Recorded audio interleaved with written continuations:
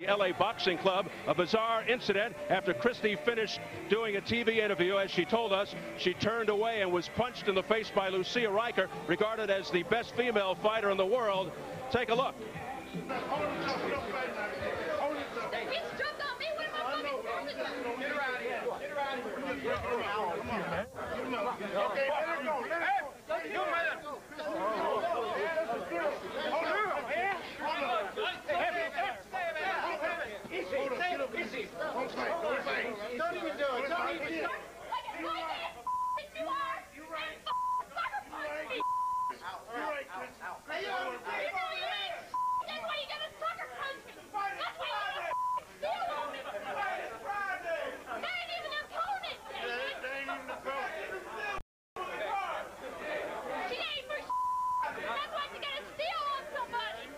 If you really are a true fighter, you're not going to come up and try to steal on somebody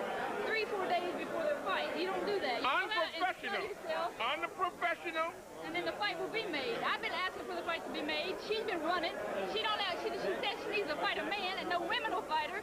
But yet every time she has a woman fight um, scheduled, she pulls out. She she has bad chance or some Buddhist.